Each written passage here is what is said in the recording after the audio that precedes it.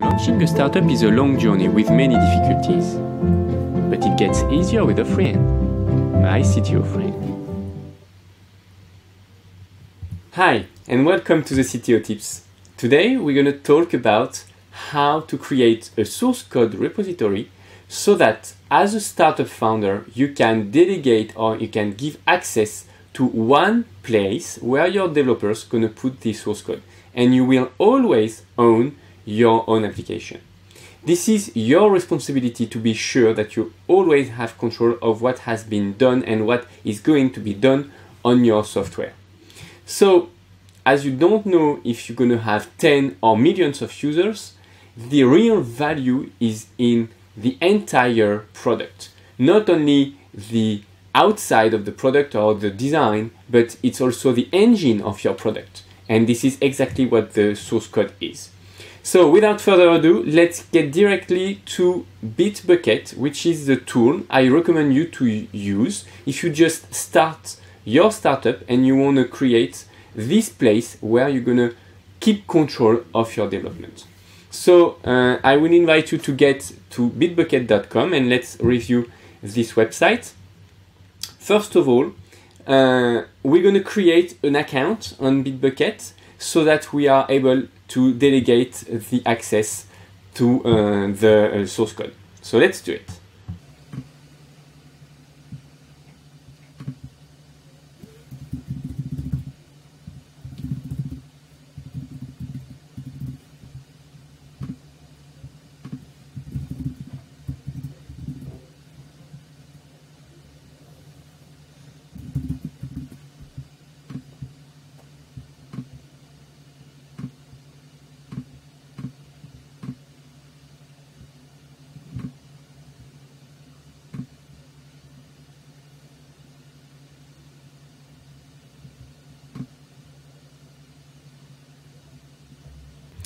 So here it is. I just subscribed. I of course received an email and when I click on the link on the email, I should be redirected to this page where he's gonna invite me to um, to sign, of course.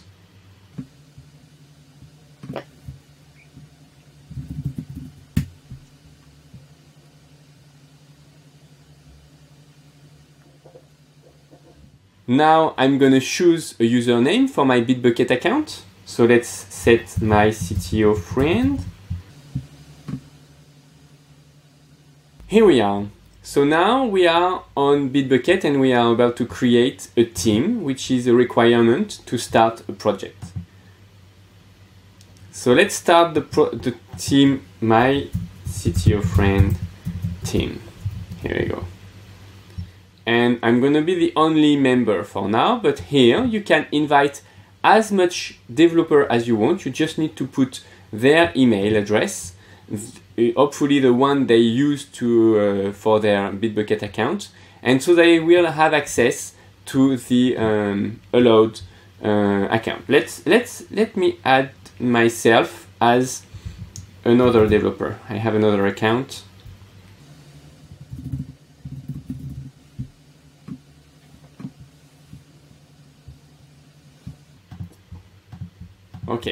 So now I just add my personal account here as a simple user, but I should be able to delegate more in the future and give also administrator access. What is important is to keep in mind that uh, the user that is here uh, is a member of the team and he will not have the ownership of the team and of the, uh, the project. So let's create the team.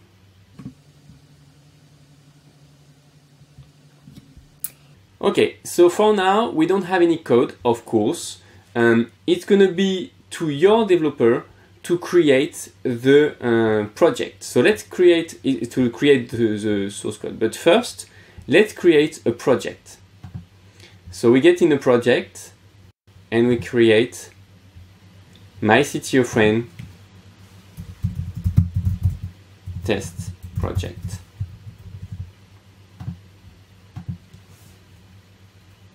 Let's set MF my CTO friend project. It's a private project, which means that the source code will not be available and uh, accessible for everyone, but only people that are part of your team. You can put your logo if you want, and you put the project. It's not very important, in fact. Here it is. So now we can create a repository, which means that we're gonna be able to deploy uh, the um, we to deploy some source code. So the repository could be, as example, um, main website. It can be created by your uh, by your developer as well. Create repository. And in this repository, now, if your developer is, is a member of your source code, he will be able, of your team, sorry, he will be able to publish the source code on it and you will have access to it. And at any time, you will be able to access on this part, this menu, but the commit menu, which means that you will see here all the uh, deployment and all the change that has been done by your developer. So this is all you need to do to set up a Bitbucket account and then give access to your developer to your own repository so that you can own the content of your application. Now, if you already have your team, then project, then repository setup, and you want to add a new developer to your team, it's quite easy. You need to get to your project, like I am right now, and you click on the settings. Then you go on user and group access and you will have here and you will be able to give access directly to a user. If you want, you can add here the email of the user or you can also manage by groups. And if, as example, I want to manage a developers group, I can here add a new member on this group, which can, can be the same if you want to create a test group, which will have only a read access. It will be exactly the same.